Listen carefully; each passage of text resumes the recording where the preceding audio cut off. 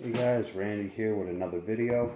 We're not doing unboxing today, but we are sending out these Pokemon cards. I just wanted to review with you. Um, sorry if the video is quiet. I'm down in my kitchen, everyone's sleeping, but um, I'm going to be sending out this base set Unlimited Blastoise. Um, I was looking at this yesterday, and I'm thinking it's going to come back a 7 at the highest, 6.5 at the lowest. Um, next card up is a base unlimited Charizard. And I did look at this yesterday really quick, and I'm hoping this comes back at least a 7.5. Um, I have a Charizard V Black Star promo from the Champions Path line.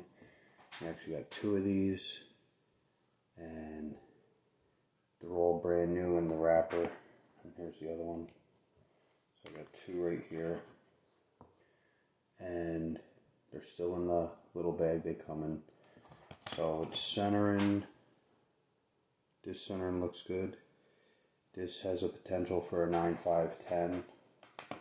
And this one was centering, um, same thing, 9, 5, 10. So hopefully we get a 10 on one of these. And then what else do we got? Okay, we have three more cards left. So we have a Venusaur base set limited shadowless. So these aren't high grades. These are all going to be low grades. The next two cards after this. Um, I'm thinking this card just to come back. I don't know between. I don't know, like a three five maybe. I'm not sure. Um, but it's a shadowless, so I'm excited about that. Our next one up is a shadowless base limited Blastoise. And you can see on this one, it has that crease there, so it is kind of ugly. Um, I did do some work to these cards. I ironed them.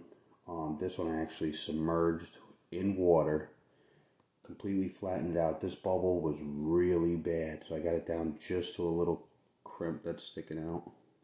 So even if this comes back like a 2, I'll be happy. A 152, just because it's a shadowless for my personal collection. So, and then my last card is a Charizard shadowless. So you can see closely the two runs through the holo. Besides that, the card is in pretty decent condition. I'm hoping I at least get a 1 1 5 on this.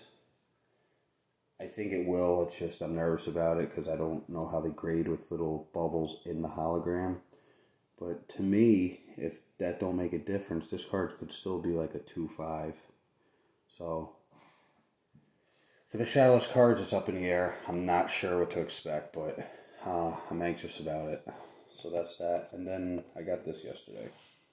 Just from the movie Charizard, it's a grade 8. Center a 9-5, surface a 7, corners 9, and edges a 9.5. But it's a cool card I just got. Wasn't expensive. And that's it. So, hope you liked the video. If you liked it, please give it a thumbs up. Um, if you haven't subscribed, please consider subscribing. Definitely leave a comment below. And that's it, guys. Till next time, stay safe. Peace.